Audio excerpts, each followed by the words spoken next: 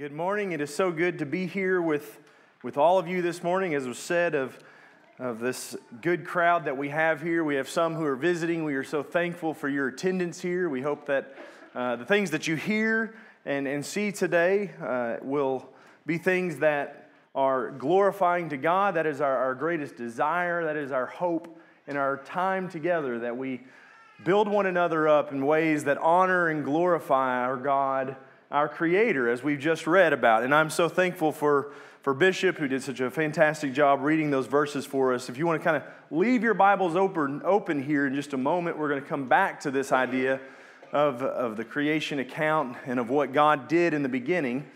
Uh, I want to talk a little bit about what we are getting ready to start studying. In the course of this year, we're going to be looking at this idea of exchange. And that is the, the title of our of our yearly series, and it is focusing on the issue of idolatry. So, as we get into this, as we start this, we need to lay some groundwork as to how we're going to understand the concept of idolatry, understand the terminology that we'll be using. And, and I hope today we can, we can kind of uh, present some of that in a way that, that helps us to do so. To begin, I want to say this you and I are merely reflections when uh, the boys were little, uh, we were worshiping at the, the Lake Street Church of Christ, and it was time to go. The services were over. We were gathering everything up to get out to the car, and we're looking for the boys. And inevitably, the, the kids at the congregation there would, would gather in the nursery of that, of that church building. And, and that's generally where we'd find them at. And so I went and I opened the door to the nursery and Ryder's standing there with his songbook, and all the other kids have their songbooks open, and they were having this little worship service of their own after services were over. They were reflecting what they had seen. They were reflecting the things that they had watched us, uh, us to do. And I'm sure uh, many of you who have, who have children, many of you parents have witnessed much of the same thing in your own children, mimicking and reflecting the way that you talk, the way that you act. We are reflections. In high school, I remember the peer group that I was maybe most closely associated with. Uh, we were very anti conformist. We were going to look like everybody else. So we, we were the kids that would, would go around and just wanted to, to, to stand out in some way that, that said, I'm, I'm not going to fall in line with, the, uh, the, with this group or with that group. And because we were too cool for that, I guess. Uh, oddly enough, we all looked exactly like one another. We all conformed to uh, this idea that we'd come up together. But you, you can remember this idea maybe from your time in school as we had these, these cliques. And cliques generally reflect the, the nature of, of the group. And so you had those that were very athletic and the, the, the members of that group would, would reflect that athleticism. They would all be involved in sports in some way or all be involved in something to demonstrate their athletic abilities. Maybe you had the group that was, was very focused on their schoolwork. And they would reflect that as well, even down to the clothes that we wore. There would be those groups that reflected our, our desire to have the very best of fashion, the very uh, cutting edge of, of what, is, what is popular. And so they all dressed in a very similar way, uh, even down to those that, that were in search of, of ways to escape the, the pressure of school or to find fun in things such as drugs and alcohol. The people in that group reflected that. The group reflects what it, what it, what it glorifies, it reflects what it holds as valuable or important. And if you're going to join that, you are going to have to, to be accepted, you are going to have to reflect that as well. This is a pattern I hope we see. It's a pattern that is kind of imprinted onto us in humanity, but it's a pattern that is a very old one, one that has its roots right in the book of Genesis in the creation account. In Genesis chapter 1, verses 26 through 28, we read that man is made in God's image. Then God said, Let us make man in our image according to our likeness, and let them rule over the fish of the sea, over the birds of the sky, over the cattle, and over all the earth, and over every creeping thing that creeps on the earth. God created man in his own image. In the image of God, he created him, male and female, he created them. God blessed them. God said to them, Be fruitful and multiply and fill the earth and subdue it and rule over the fish of the sea, over the birds of the sky, and over everything that moves on the earth. Mankind was created to reflect the image, or we might say the glory, even the glory of God. So God made you and He made me to be that reflection. The question today, and what we will be kind of going through this year and, and trying to determine, is is that what I reflect? Do I reflect what I've been made to reflect, the glory of God? If not, inevitably I will reflect something else in God's creation. In the beginning, God made man in his image, but God also made everything else. And so, if man was going to reflect the image of God as he was designed, that was good. But if he wasn't, what was left? Except something that God had made, something that was inferior to God, but nonetheless made by God. We will inevitably reflect something in creation. And Paul uses, while slightly different terms, uh, much of the same ideas when he makes the point in Romans chapter 1 verse 25. He speaks of those who have exchanged the truth of God for a lie and they worship and serve the creature rather than the creator. He's making the very same point.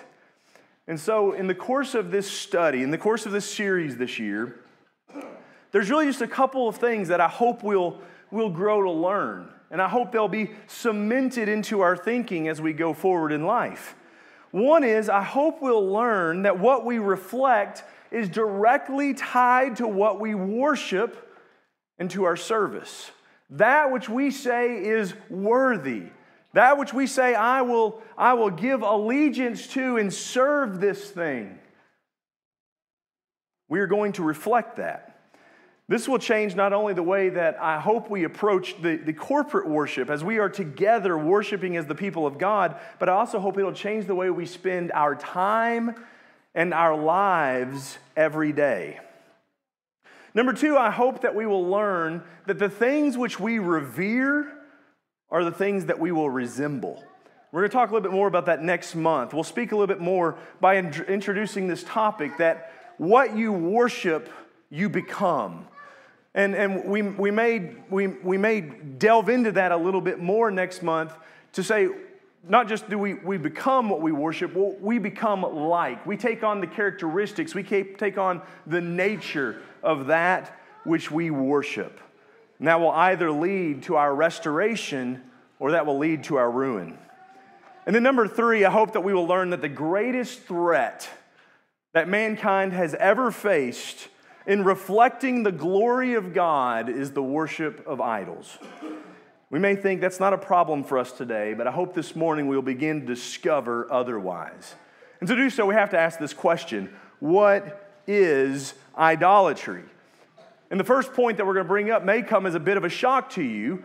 Idolatry is the most mentioned sin in all of the Bible. And you might think now, now surely lust or or homosexuality or adultery and fornication, murder and greed. Certainly, these things, these are, are more prevalent sins that, that people deal with. Certainly, that's more discussed than any other sin. But throughout the, the throughout the book, throughout the, the library of, of God's Word, the theme of, the, of idolatry is approached, discussed, referenced more so than any other sin. It is alluded to, it is combated in nearly every book of the Bible. It affected the families of the patriarchs of the, uh, of the New Testament. It affected the, the, the members of the Greek and Roman culture. I think as we look back and, and, and trace the, the people that have been touched or, or have, have had their lives uh, controlled or, or tempted by the problem of idolatry, it would be very foolish for us to say that every, gen- every dispensation or every generation has had to deal with this except for ours. We just don't struggle with that like they did. certainly we wouldn't be that foolish to think that it has no significance to us today. The problem, I think, becomes in understanding their definition of idolatry. We might say, I'm not an idolater because I don't have any carved images. I'm not an idolater because I, I don't have a, a, rock set up in my house. There's no stone statues or golden or silver figures. I'm not an idolater because I believe in the one true God. So I can't possibly be an idol worshiper. I don't believe in any of these other gods that are associated with them. So let's just pick about that for a moment. Can we be an idol worshiper and believe in the one true God at the same time? Well, throughout the Bible, the answer to that is, is emphatically yes. Yes, it is a very big problem for God's people. At the most simplified definition, idolatry is just is it simply is the worship of idols. But understanding that idols are anything that take the place, the rightful place of God at the center of our lives. And, and maybe thinking about that, the center of our lives and the, the, the core of our heart, of our thinking, of our actions, begins to reveal the danger of idolatry that this is not simply about going and into a temple or, or having a shrine or, or having a, a figure. This is a heart problem. It's something that is hard to see externally because it affects us within. There are many people who don't walk around with their idols and they don't have shrines built to them in their home, although through the course of this year, I think we might discover that that might be the case, maybe even our own houses, and we not realize it. But instead, the shrines are built within our hearts. I want you to turn over to Ezekiel chapter 14. We, we studied this passage not too long ago in our Ezekiel study, but we're going to go back and revisit it. In Ezekiel 14, we read about these elders who seem to have this desire to speak to God, or at least have God speak to them. So they come and they sit with his prophet, they sit with Ezekiel. In verse 2, the word of the Lord came to me, saying, Son of man, these men have set up their idols in their hearts and have put right before their faces the stumbling block of their iniquity. Should I be consulted by them at all? God says, I don't want to be consulted by these men. I don't want to, to have this relationship with them because of idolatry. Idolatry has infected their hearts. So, even in the Old Testament, where we generally see the picture of idolatry in the, the statues and the, the, the, figures that have been made up to the, the Baals and the, the Asheroth and, and the various ways that even in our, their own homes they would have household idols, household gods. Even in the Old Testament, God says the problem is, is in the heart. The problem is these men have set up an idol, an idol, they've set up idolatry in their heart.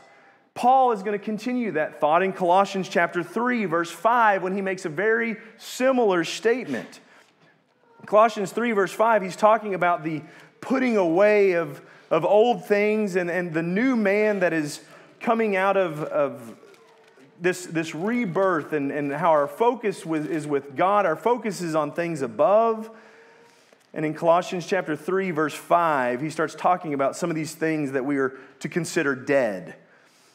Therefore, consider the members of your earthly body as dead to immorality, impurity, passion, evil desire, and greed which amounts to idolatry. Uh, just think about those things for a minute. The, the idea of impurity, the impure thoughts, impure actions, our passions, our evil desires. It's, it's, it's, it's easy to see sometimes the physical manifestation of an evil desire, but our desires are something that re- occur within us. Greed, we can see when people act in greedy ways, but greed infects our heart, it infects our thinking, it infects the things that we dwell upon. And Paul says these things, these hidden things of the heart, are, idol, are idols, are idolatry both of these groups that he is addressing, whether it be the, the Christians that he's writing to in Colossae or the, the men of Israel who the, the elders of Israel, who, who God says, I, I will not be, con, uh, I, will not have a, a, relationship with them, I will not be uh, consulted by them. They are believers in the one true God. They are people who have said God is, is set apart from everything else. And yet, in their heart, they're described as idol worshippers. Idolatry goes far beyond worship, worshiping statues. It is a sin that first takes place and is rooted and grows and dwells within the heart of mankind. So, where did this sin originate? If this is the most alluded to, most mentioned sin in the Bible, and it is such a danger to mankind, and it, it forms in our hearts and it festers and dwells there, where did it first come from? Where, where did this uh, uh, originally occur? One of the first references to the idea of someone that is worshiping something other than God might come from Genesis 31, verse 30. When Jacob and Rachel have, have escaped from, from Laban, they have snuck off, and Laban tracks them down, mainly, seems, to gather back his idols. He says, You've stolen my, my household gods. The, the word that is used there is sometimes image, but they had stolen his gods. Verse 19, it was, we learn Rachel, the one that had done this, stolen her father's images. This is the first time we see words being used to specifically indicate that, that there was some form or some structure, some physical manifestation of idolatry and, and the worship of an idol. But it, we can go back further than that. If you go back to Genesis chapter 11, Genesis chapter 11, you have the account that we're uh, likely very familiar with the account of, of Babel, the, the Tower of Babel. And what happens here? We see mankind creating this edifice. They, they create this monument, if you will, to reflect the glory of their name.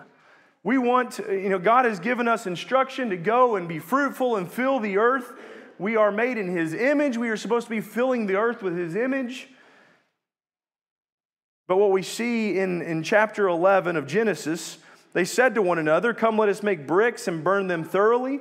And they used bricks for stone, they used tar for mortar. They said, Come, let us build for ourselves a city, a tower whose top will reach into the heaven. Let us make for ourselves a name. Otherwise, we will be scattered abroad over the face of the whole earth. Let us make some monument to man. Certainly, this was idolatrous in its worship of the name, the, the glory of mankind, but we must understand that that didn't begin in Genesis 11. That begins and is rooted in something far, far sooner than that. In in the recorded Bible, I want to suggest today that while not specifically described as idolatry, Adam and Eve are the first ones to exhibit idolatrous worship in their decision to eat of the tree which God forbid. And so, in this account, there's a point when Adam decides that he is going to turn from God, he is going to stop revering God, and the instruction that he has given him to reflect his glory and in so doing, Adam begins to take on the semblance, he begins to resemble a new object, an object that I would argue that now has gained his reverence. A brief account of the creation story may assist us in, in seeing this picture. As we've already read, Genesis 1 26 through 28, it revealed that Adam and Eve were created in the image of God. They were created and tasked with, with filling the world with that image of his glory. And God tells them to do three things specifically. Three things you might, you might think, well, why did he attach that at the end of that section? Verse 28, why did he attach that? He said to be fruitful and multiply. He said to fill the earth, subdue it, ruling over it. These things reflect the very work that God has done up to this point. God ruled over his creation through his created word. Excuse me. Through his created word. Uh, nothing that came into creation came into creation without him. Everything that came into being came into the being the way that he, that he described it to come into being. It did exactly what he expected it to do in being created. He was ruling over creation. And you would argue even that he had subdued creation. He subdued the darkness and the chaos that, that existed there uh, in the very beginning. We see the, the world was, was dark and void, and yet God subdued that, and from that separated light. And from there on, that's, that's the picture we see through the rest of the Bible. God is separating light from darkness, separating good and righteousness from evil and unholiness. And then God created life. And as you read through that, what does he say when he looks down at the end of each day? He, he sees his creation. He sees the, the, the mountains and the streams. He sees the, the oceans, the, the moon and stars. He sees the, the, the plant life and the animals. And man, he looks at all of this and he says, It is good. So God rules over, God subdues, God creates his image. And then he goes to man and says, You specifically have been made in my image. Go continue what I have started. In that instruction to be fruitful and multiply and fill the earth and rule over it and subdue it is God saying, You have seen what I have done. Carry on my nature, carry on my characteristics. Go into the world as, as if you are little gods that are carrying on me, that are doing what I have begun to do. Go and do that. Almost as if we are his children, the same way that we might think about our own children. But after doing so, God does something interesting. He takes these little images of God that he has made, and he sets them up in a place that, as Bishop read for us, is, is set apart. It's a place that is a, almost like a temple, the Garden of Eden. And in fact, from there on out, we're going to see anytime God is discussing a place that is wholly set apart for Him, it resembles characteristics of the garden. It resembles the, the, the, characteristics in nature that we see described in the garden. He sets them up in this temple and he tasks them, reflect my glory. I think this may become part of the issue and the reasoning for why God's second commandment, and the first and second commandment that he gives the Israelites in the Ten Commandments, the first and second commandment are the greatest or the, longest, I should say. They are the longest of all the commandments. He gives them the second commandment and he says, I forbid you to make created images which reflect my glory. Not just don't make images, don't serve, serve idols. Don't make an image that's supposed to represent me. Well, why not? Doesn't that seem like a good thing, God, for us to have? Maybe his answer would be because I've already did that. I made the image that's supposed to reflect me. It is you. And inevitably, because you have not seen me, anything that you create, again, Romans 1:25, is going to reflect the glory of creation, not the creator himself. Now, before we go on, I think it interesting to consider that many of the Near Eastern religions of that day that worshiped idols adopted a very similar view of how an idol became a manifestation of their deity. When you go to the, the and look at the, the Canaanite religions or the, the people from the Mesopotamian area that worship Mesopotamian gods, uh, we maybe sometimes get the notion that somehow they, they, they picked up this rock and they kind of chiseled away on it and, and they set it down and said, Whoa, look at that. That God that God that has been there forever is the God that I'm going to serve. Or maybe to just steal directly from Aaron, uh, the calf just jumped out of the fire, and, and that's your God. But in reality, we, we've discovered uh, through, through uh, documents, that, through, through archaeology, through things that we have found, that the idea that they created idols and then just kind of accepted that they had always been is, is really not true. Instead, they would create the, they would go to the workshop where the, the idolater or the, the, the smith would, would mold and shape the, uh, the structure and then they would take it somewhere, somewhere special where they would wash it and they would prepare it. They would sanctify it, maybe. And in so doing, they would prepare it to be the manifestation of the God it was going to represent. They would then take it to a place that would serve as its temple. Maybe it would be a riverbank, or it'd be a, a, a stand of, of woods. It might actually be a shrine or a temple uh, itself, but in there, placing it in its position, it would then be ready to accept the deity that they already believed in to come and inhabit its body. You think, why do we need to know that? They were stealing from what happened in creation. They were taking what the creation account describes. Listen, listen closely to Genesis chapter 2 and verses 7 through 15. Well, actually, just 7 and 15. Genesis 2, verse 7 and verse 15. And think about how closely that, that, that idea follows what God did. It says in verse 7 Then God formed man of the dust. In his workshop, he created man. And then he took him and he breathed into his nostrils the breath of life. So God takes man and he forms him in his workshop. He inserts into him his breath and man became a living being. And then in verse 15, he goes and he establishes him. He takes the man and puts him in the Garden of Eden.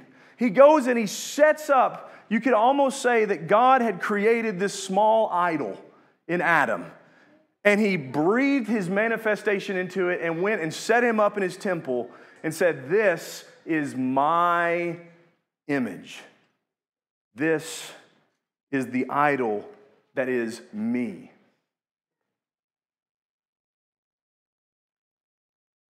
How does that illustrate, though, that Adam and his sin in the garden was a form of idolatry? We need to remember that idol worship is reverencing anything other than God. We need to remember that what we resemble we will, or what we revere, we will go on to resemble. Adam's choice in the garden, after he has been set up by God to be his image, be my reflection into this world, resemble me. His choice in the garden indicates one, at the very least, Adam had shifted his allegiance from God to himself. But I think there's a very good argument to say that Adam had begun to not revere God, but revere Satan, revere the serpent as well. Think about this Genesis chapter 3, verse 4. The serpent said to the woman, You surely will not die. We know that that is a lie based upon what uh, Bishop read for us in verse 17. We know it's a lie. The serpent was a liar. Genesis, uh, Genesis chapter 3, verse 1 and also in verse 13, we see that the serpent is crafty, he is deceitful, he is cunning in his deceit. Why do we consider that? Because when God asked Adam, when he came to the garden and found them hiding from him, and he said, Have you eaten from the forbidden tree? In chapter 3, verse 11, think about Adam's response the man said, The woman whom you gave to be with me, she gave me from the tree, and I ate. That's a yes or no question, by the way. You ever ask your child a question? Did you do that? And then and the first answer is, well, and they're going to start telling you all the things that went in. It's a yes or no question. Did you, did you kick your brother? Did you, did you have this fight? Did you say this word? Well, no what's the answer? God says, Did you eat from the tree, Adam? It's a yes or no, but yet Adam immediately begins crafting, just as, as, as, the serpent had crafted this instruction to Eve, he begins crafting this deceitful tale of how this is really the woman's fault. And in some ways, God, this is really your fault because you're the one that gave me the woman. He deceptively shifts, shifts the blame off of himself and onto Eve and onto God. What led to this terrible decision, however, begins back in Genesis 3, verses 1 through 3. And if we will consider that for a moment, the serpent asks Eve this question. You know, we're looking at, at Adam and how he's revering, eh, eh, he's resembling the, the serpent. But let's go back a little bit and consider Eve for a moment. Genesis chapter 3, 1 through 3, the serpent says, if, if God has really forbidden you to eat from all the trees of the garden. Now let's consider what Eve says. What does she say there in, in chapter 3, uh, verse, verse 2? She says, From the fruit of the trees of the garden we may eat. Satan says, Did God say you can't eat from the trees of the garden? She says, From the fruit or from the trees of the garden we may eat. Well, is that really what God said? Is that really the, what God had instructed her? To see that, we go back to Genesis chapter 2 and verse, uh, verse 17. I'm sorry, verse 16. God said, From any tree of the garden you may eat freely. The last word might seem ins- insignificant to us, but for just a moment, think about this that Eve chose to leave this instruction out.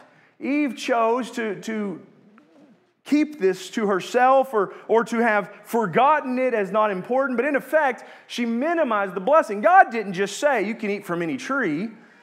God said, You can eat freely from any tree, from all the trees of the garden. You can eat as much as you want. The, the magnitude of the blessing that God has placed in their lives is being detailed in the word freely, without restraint. You can eat from any tree of the garden. And yet, when Satan comes to Eve and says, Did God really say you could eat from any tree that you could not eat? She says, Well, we, could, we can eat from the other trees. Keep reading in verse 3. But from the fruit of the tree, which is in the middle of the garden, God has said, You shall not eat from it or touch it, or you will die. Now, some of your translations may say, Lest we die. Let's consider again is that what God had said to Eve? Go back to verse 17. Genesis chapter 2, verse 17. From the tree of the knowledge of good and evil, you shall not eat, for in the day that you eat from it, you will surely die. Now, there's, there's some argument that has been made that Eve was was again minimizing God's, uh, uh, God's words here. She, she already seems to kind of have minimized the blessing that he gave them when he said, Eat freely, and she said, We can, we can eat of the other trees. But when she says, Lest we die, as opposed to, We will surely die, minimizing the, the consequence. But that's really not what I want to focus on. I want to focus on what Eve does that completely modifies, completely changes what God said. She adds a commandment. The restriction was to not eat from the tree, and she says we are to not eat or to even touch the fruit. Now, the only reason I bring this up is again, we see a reflection that is similar to the character of the serpent, who likewise minimizes the consequence which God had placed upon them for eating the fruit, but he did it by adding just one word not. You will not surely die.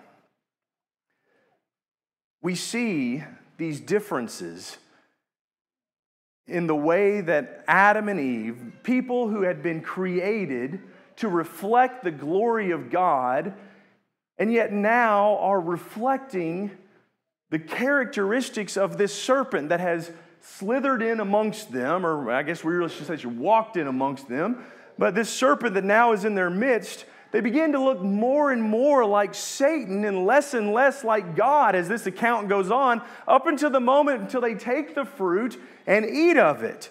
And that leads to this statement that's made by God in Genesis 3:22, and he says, "Behold, man has become like one of us.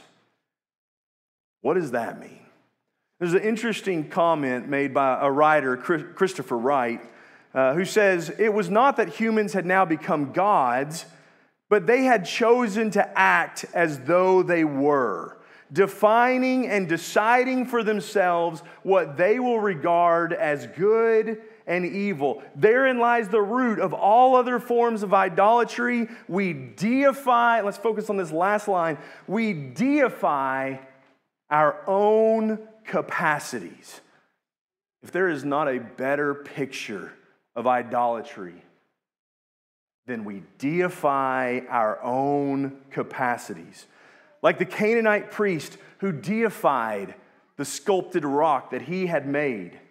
Adam deified his ability to judge between that which was good and that which was evil, choosing to turn from God and set himself up as an idol to humanity's own likeness. God has in the beginning created all these things. He created me to reflect His image. Everything that He created, He said was good. I know what's good because God has made it. And there's maybe even a thought that if I don't know what's good, I'm in the, the, the I'm in this temple place where, where God walks with me, and in the middle of that is God's planted tree of the knowledge of good and evil. While the scriptures never indicate this, the question maybe comes up should we go there and ask God if this is good or evil? But instead, it is the place where man went and said, You know what? I think I can do that. And they took they saw that it was wise, or that it was good to make them wise, and they said, Let's take and let's eat. Adam had deified his own abilities. We see going forward from here that man and God's relationship is tarnished. But we also see something begin to happen from this point forward. Our glory. And we're going to this, this is going to be a term that we see throughout this series the glory or their glory, our glory, whenever God talks about Israel and their glory. On their own, they had no glory. But Israel had entered into a relationship with God that made them glorious. On his own, Adam has no glory, but Adam has been made in the image of God, and so he has been given glory. Our glory, mankind's glory, was exchanged. We took the glory that God had given us and we exchanged it for a lie. A lie that Satan had told that said, hey, if you will do this, you won't die. And we, with the idea that we can somehow do better, we can be rightful judges between good and evil, took that glory upon ourselves. And where did it immediately lead? It immediately leads to a separation from God it immediately leads to a broken image, or you might even say a broken idol. Mankind suffers the death that God has promised. Physically, we see death occur, start to occur, but also spiritually, we are separated from God as we are cast out from the garden. And God places up barriers to, to ensure that we are not able to enter back in. This problem doesn't end, however, with just Adam and Eve. In Genesis chapter 5, we read these words that stand out to me as I think about this, this issue. It says, The book of generations of Adam. In the day when God created man, man, he made them in the likeness of God. he created them, male and female, and he blessed them and named them man in the day when they were created. We get the, the, the retelling of the creation account. But then, verse 3 Adam lived 130 years. He became the father of a son in his own likeness, according to his image. And he named him Seth. I think the, I think the Bible records that line not just to say Seth was a spitting image of his father, he, he looked like Adam.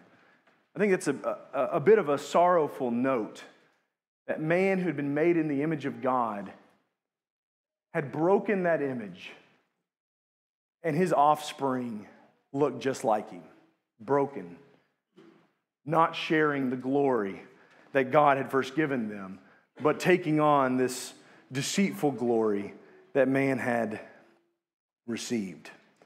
spreading out from here came the continuation of humanity, which repeatedly chose to revere vain and worthless, worthless things, and it led to further ruin. We see that immediately following these accounts in Genesis 6 and the flood. It carries on again to the wilderness wandering of, of the children of Israel. It goes on to the cycle of the judges, the exile and captivity of, of Israel and Judah, and finally, eternal judgment. All of this, all of this spinning out from this problem that occurred in the beginning of time that is maybe best described as man's idolatry. I hope that what we see from all this is this is not a problem about stone figures and gold and silver statues. As we come to a close today, I want us to consider a few ways that we might today struggle with idolatry, but I want us to really spend time focusing on how we're going to overcome it through the power of Christ. As we go through this study, uh, towards the end of the year, we will get more into these, these ideas.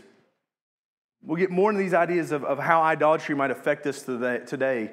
But I ask you to consider, for the, for the time being, how things such as money, and possessions and pursuits, whether it be of a career or of education, how our hobbies, or even how various vices in our life, such as alcohol or drugs, our own families, nationality, politics, consider how these things can become idols. Remembering our definition, an idol is something that takes takes the place where God deserves to be set up in the center of our lives, it takes that place, and we grow to resemble what we revere. We grow to look like what we worship. I want you to consider how those things may be idols for us today, and then I want you to ask yourself this question I am a reflection. What am I a reflection of today? Will I be a reflection of the Almighty God or a reflection of the Almighty dollar? Am I a reflection of the glory of prestigious accomplishment? Am I a reflection of a self made man that has pulled himself up and made himself into what he is today? As I said, we're going to consider more about how these things become idols in our lives and lead to idol worship and how they steal from us the very blessing that God seeks to provide by placing His glory into our lives. But I want to end by reminding you this idolatry is pervasive. Idolatry has filled the world, and idolatry is utterly defeated by Jesus Christ. He has overcome, He has accomplished it. So, how do you and I overcome idolatry today? Again, things that we will get into more, but very quickly. Number one, let us be honest. In 2 Corinthians chapter 13 and verse 5, we are told to test ourselves. Very similar to what Paul said in 1 Corinthians 11, verse 28.